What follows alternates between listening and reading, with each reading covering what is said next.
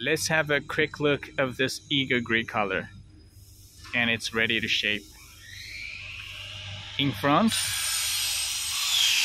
uh, this customer is using a ball coupler two safety chains 13 pin connection manual brake. In front we have a toolbox and there is a 5 litre diesel oil or gasoline you can add it any at a time. And also you can add in water here so this is we call eager gray. So let's take a whole picture here. Eager gray color is different from our original gray color version. You can see the difference. So let's take a look here. And in this toolbox we have a water heater inside. And you see this customer uh, this is the faucet position. And here. And there's a toolbox yes this is a toolbox.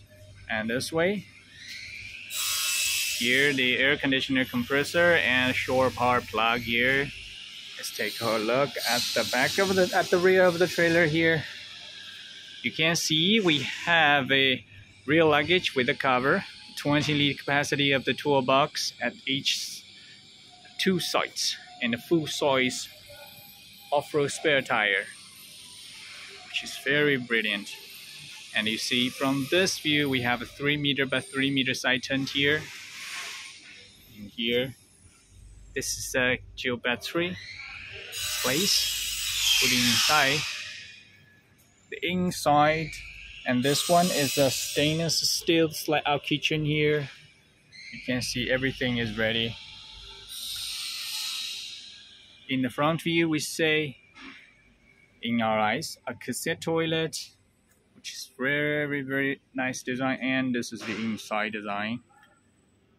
Inside white decoration. And this is the LED ceiling. 12 volt air conditioner and 12 volt refrigerator. Everything electronic is using 12 volts and you can take a look here.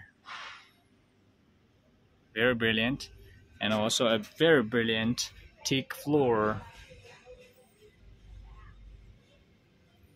this is the control panel here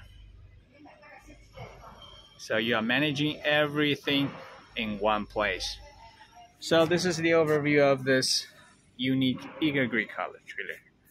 Thank you for watching.